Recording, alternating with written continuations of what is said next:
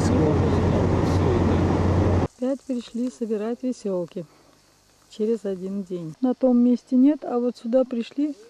Запах есть, а грибов нет. Сейчас будем искать. За разом нашли по запаху. Две штуки. Вот она. Еле-еле. И вон то уже кушают мухи.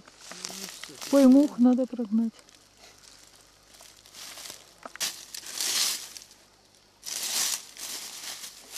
О, сильный грибочек хороший. Не Пашкин ножик пригодился. Очень симпа- симпатичный, но запах, блин, ой, одуре- одуреть можно. Ну ладно. А яйца. Лесу настолько сухо, что даже никаких никто не успел его съесть. Высыхает. Вчера вылез, вылезли, а сегодня уже все.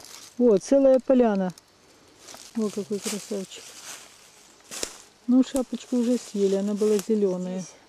Здесь вот и были яйца вот эти. Я люблю эти грибы снимать, интересные. Раньше их ногой, если найдешь, стукнешь или просто обойдешь. Потому что запах у них, ого, какой изумительный.